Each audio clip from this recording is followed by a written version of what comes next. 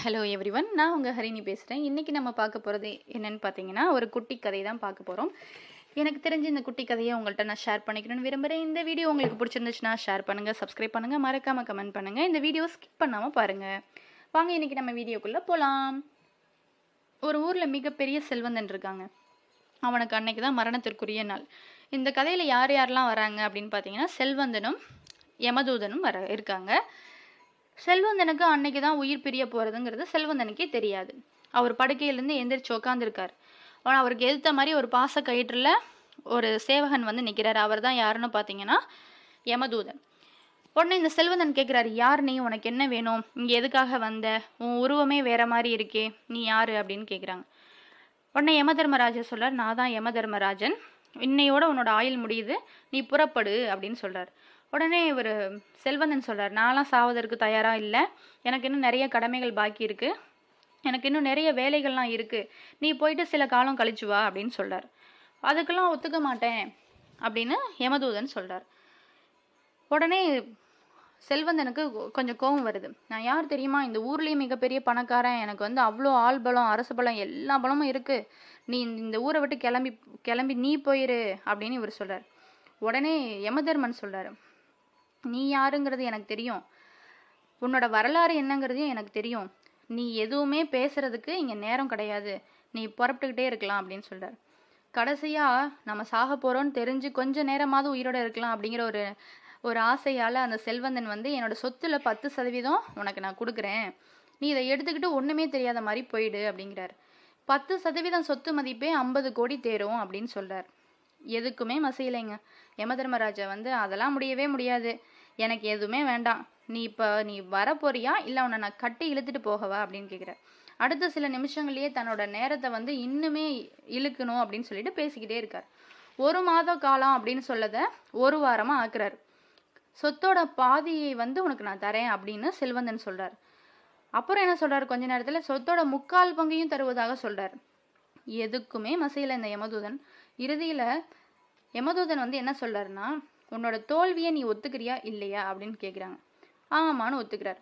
இதையாவது செஞ்சியே. உன்னோட சொத்துகள் முழுவதையும் நான் தரேன் அப்படின்னு சொல்கிறார் அதெல்லாம் எனக்கு எதுவுமே வேண்டாம்.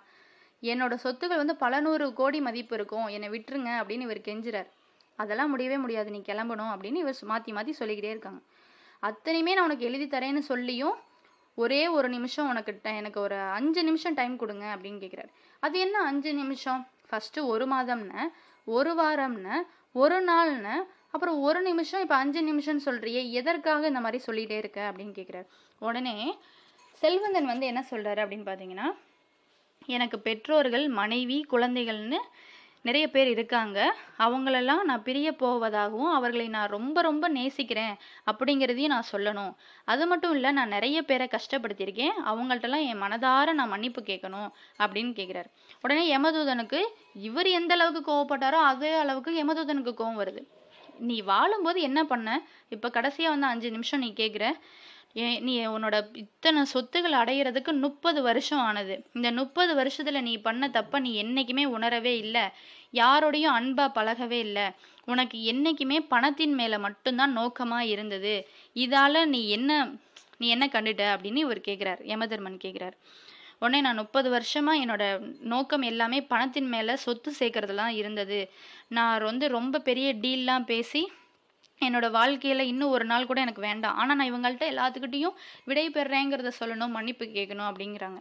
உடனே யமதர்மன் சொல்றாரு என்னால் மனுஷங்களை வந்து புரிஞ்சுக்கவே முடியல. இந்த காலத்தில் நீங்கள் பணத்தை ம- பார்த்து மட்டுமே நீங்கள் போகிறீங்க நீங்கள் என்ன பண்ணீங்க? யார் மேலே அன்பாக இருக்கீங்க?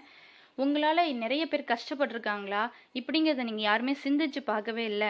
உங்களோட மதிப்பையும் என்னால் புரிஞ்சிக்கவே முடியல. அப்படின்னு சொல்கிறார் முடிவு வரும்பொழுது தான் தன்னுடைய நேரத்தையும் அருமையும் உங்களுக்கு புரியுதா? ஒரு மனுஷங்களோட பாசம் என்னங்கிறது உங்களோட முடிவு பி- உன்னோட முடிவு காலத்துல தான் தெரியுதா? நேரத்தை நீங்க உண்மையிலே எப்படி மதிப்பிடுறீங்க? மனுஷங்களோட முக்கியத்துவம் என்னங்கிறது தெரிஞ்சுக்கிறீங்களா? வாழும்போதே ஏன் இப்போ சொன்னதெல்லாம் கூட உன்னால் செய்ய முடியல?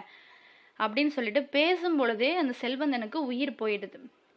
உயிர் போகும் பொழுது ஸ்- இவ யமதர்மன் அவரை கூட்டிட்டு போகும்போது யமலோகத்துக்கு கூட்டிட்டு போகும்போது சொல்றார் மனுஷங்க எவ்வளோ ஒரு ஒரு அன்புக்காக ஏங்கினவங்க அவங்களோட அன்பை உதாசீனப்படுத்தின பணத்தை நோக்கி போன உன் பின்னாடி யார் வந்து நிற்கிறாங்கங்கிறது பாரு. உன் நேரத்தோட மதிப்பை வந்து புரிஞ்சுக்கணும். எந்த அளவுக்கு பணத்துக்கு மேலே நீ நேரம் செலவு வெட்டியோ அந்த அளவுக்கு பிறர் மேலே அன்பு செலுத்துறதுல நீ உன்னோட நேரத்தை செலவு பண்ணலை. மன்னிப்பு நீ யாருடையும் கேட்கவே இல்லை. இதனால தான் நான் இன்னைக்கு உன்னோட ஆயுள் முடியுதுன்னு சொல்லிட்டு உன்னை நான் வலுக்கட்டாயமாக கூட்டிகிட்டு போகிறேன் அப்படின்னு ரெண்டு பேரும் பேசிட்டு போகிறாங்க இந்த கதை மூலயமா நம்ம என்ன தெரிஞ்சுக்கிட்டோம் அப்படின்னிங்கன்னா முதல் முதல்ல செல்வந்தனாக இருக்கட்டும் ஏழையாக இருக்கட்டும் யாராக வேணா இருக்கட்டும் முதல்ல பிறர் மேலே அன்பு செலுத்தணும் குடும்பத்தார் மேலேயும் அன்பு செலுத்தணும். அது மட்டும் இல்லை நேரத்தை மிக மிக நேர்மையாக நம்ம கடைபிடிக்கணும். ஏன்னா இவ்வளோ நாள் நம்ம தெரிஞ்சு தெரியாமல் பண்ண அத்தனை தப்புகளையும் மறந்துடுங்க.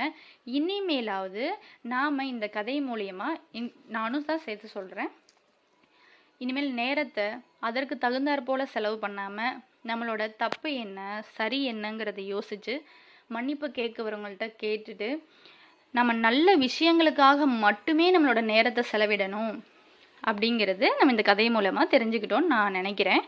இந்த வீடியோ உங்களுக்கு பிடிச்சிருந்துச்சுன்னா ஷேர் பண்ணுங்கள் சப்ஸ்கிரைப் பண்ணுங்கள் தேங்க்யூ ஸோ மச்